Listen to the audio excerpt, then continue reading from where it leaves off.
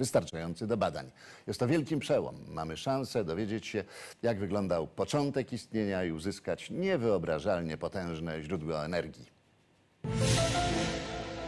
Według fizyków u zarania wszechświata materii i antymaterii, czyli jej lustrzanego odbicia, było niemal dokładnie tyle samo. Gdy materia i antymateria stykają się, dochodzi do anihilacji. Gdyby obu substancji było tyle samo, po wielkim wybuchu nie pozostałoby nic.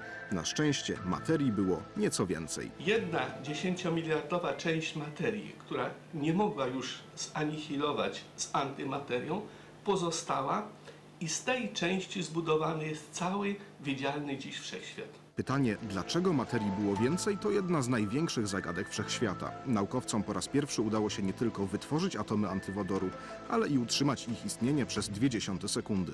To ogromny sukces. Jest bardzo trudno utrzymać taki antywodór. On jak czegokolwiek się dotknie, to natychmiast anihiluje i jest błysk światła.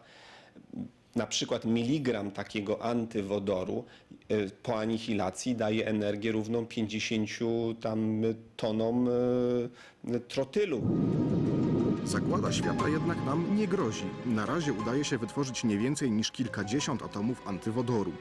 Badania odpowiedzą nie tylko na pytanie, jak powstał wszechświat, mogą też przydać się w praktyce. Są już pierwsze prace badawcze na temat terapii rakowej zimnymi antyprotonami. I to jest bardzo ładny przykład, jak takie na pozór ezoteryczne badania od razu ktoś chciałby wykorzystać.